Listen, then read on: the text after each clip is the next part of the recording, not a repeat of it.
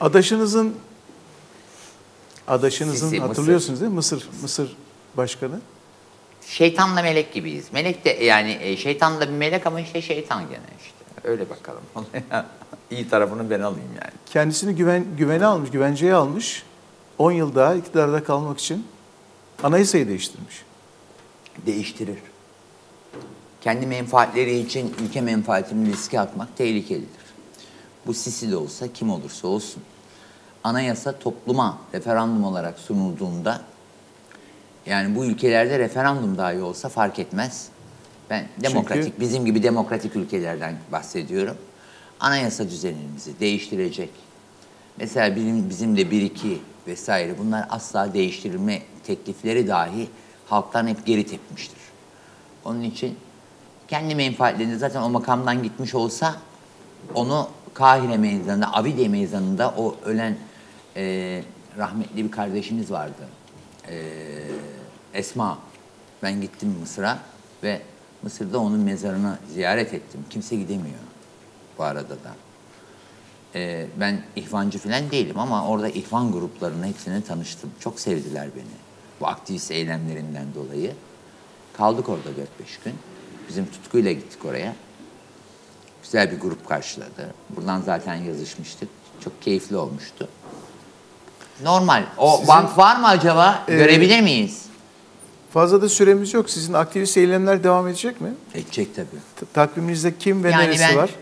Paris'e gidip e, Ermeni kardeşlerimizle birlikte ben barış için yürürüm.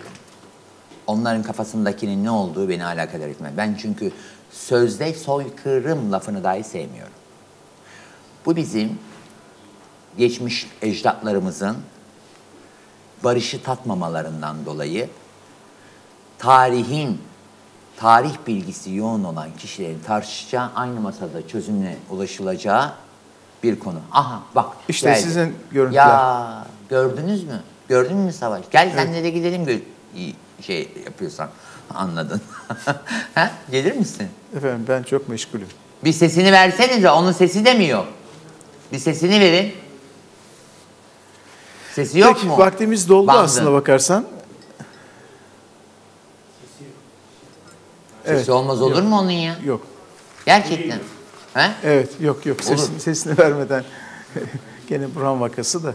Burhan vakası mı? Evet, evet maalesef. Burhan seni götürseydim ben orada Peki. yani Peki teşekkür ediyoruz. Bugün de programımız bitti. Vallahi seninle ne kadar güzel vakit geçiyor biliyor musun? Çok keyifli adamsın. Odun yutmuş gibi orada şöyle durmuyor mu? Ben inanamıyorum ya. Senin gibi olursam ben herhalde mahvolurum ya. Gerçekten söylüyorum.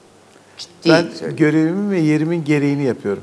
Anladım ama ben senin gibi galiba hiç olamayacağım gibi geliyor. Peki.